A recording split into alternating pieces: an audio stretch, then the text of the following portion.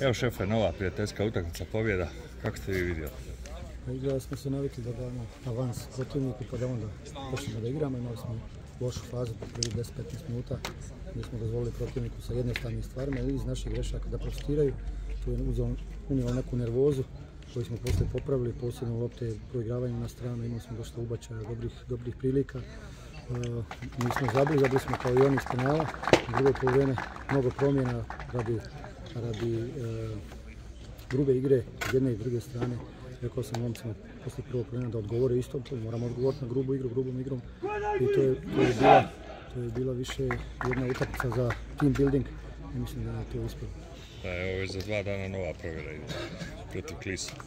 Ćemo dati šansu ovim e, iz drugog plana, momci koji, koji su bili povrijeđeni kao Boljević, e, kao a, Vaha Selmović i momci mlađi i ovi koji su možda upali u drugi plan da pokažu da mogu i oni.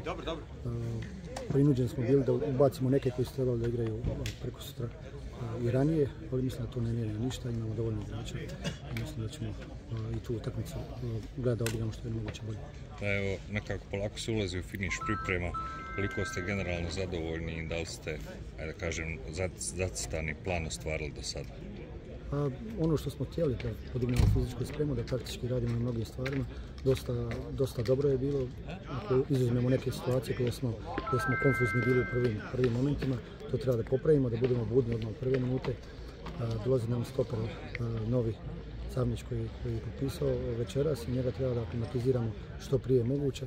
Ide sezona, imamo tu prijateljsku protiv imamo generalku i već ide, ide prema ozbiljnim, ozbiljnim mečevima i tako da nemamo puno vremena, ali mislim to što smo napravili do sad je dobro, je ok.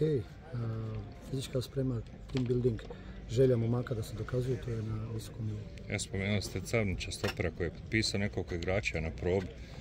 Da ste zadovoljni njihovim radom, generalno na trenizma i onim što ste danas vidjeli? Svi se zalažu, svi, svi daju sve od sebe i žele po svaku cijenu da ostanu kod želje. To su momci koji, koji nisu pitali za, za novce, nego su izrazili želju da, da, da skupljaju iskustvo, ja im dajem šansu koliko je do njih, ne do mene.